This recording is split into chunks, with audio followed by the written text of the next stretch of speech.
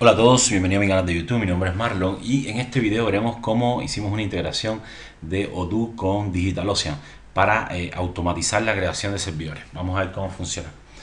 Entramos aquí al módulo SaaS, vamos a configuración y primero configuramos un proveedor de servicio. En este caso vamos a necesitar el Private Key. Después eh, hace falta configurar las imágenes y eh, puedo tener una imagen con, con un ID para poder para poder tenerla asociada a un plan, ¿vale? Aquí tengo el plan 1 con asociada a esta imagen que está acá, ¿vale? Eh, este plan que está acá lo voy a borrar, entonces solamente voy a quedar con el plan 1. Después voy a ir a SAS, voy a ir a Droplet, bien, y voy a crear un servidor.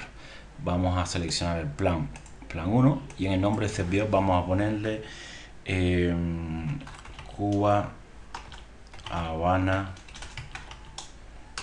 Odoo 13 Bien, pulsamos sobre guardar, acá le dejamos que no, que no me cree backup y seleccionamos Open.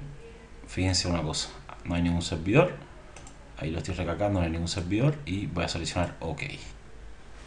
Bien, ahora fíjense para acá, ahí lo está creando Cuba, Habana, Odoo 13.